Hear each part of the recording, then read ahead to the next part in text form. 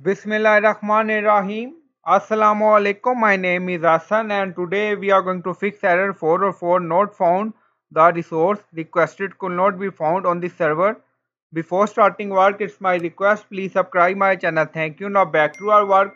So there are multiple ways to fix this issue, but mostly .htaccess file cause this error. Now go to hosting. Now we are in hosting and then you see .htaccess file so first download this file, right click on it and click on download and then click on save. Now delete this file, so right click on it and click on delete and then skip the trash and click on confirm. So now you see file is deleted. Now on top you see file, so click on it and now name .htaccess and then click on create new file.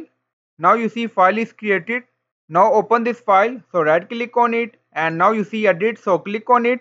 Now you see .htaccess file is open and paste code here and you will find this code in video description or in comment section and then click on save changes.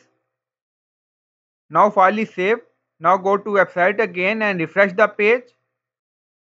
Now you see website is working fine after adding code in .htaccess file. So in this way you can fix this issue. So I hope you like this video. Please like, comment, share, subscribe. Thank you for watching.